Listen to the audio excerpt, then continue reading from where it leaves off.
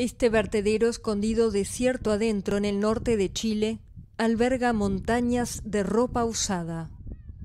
Coloridas colinas que crecen a diario a medida que unas 59.000 toneladas anuales entran por la zona franca del puerto de Iquique, a 1.800 kilómetros de Santiago.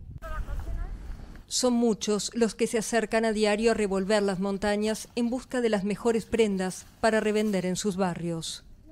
Otros, como esta migrante venezolana, aprovechan para buscar prendas de abrigo. Bueno, hoy venimos a buscar ropa porque de verdad no tenemos, porque de verdad la botamos todo ya cuando veníamos ya de mochileando para acá. Chile es el primer consumidor de ropa en América Latina y también el primer importador de la región de prendas de segunda mano desde Asia, Europa, Estados Unidos y Canadá. En la zona franca los comerciantes seleccionan las prendas para sus tiendas. Lo que sobra no puede salir por la aduana, así que o se va mediante contrabando o termina siendo desechado.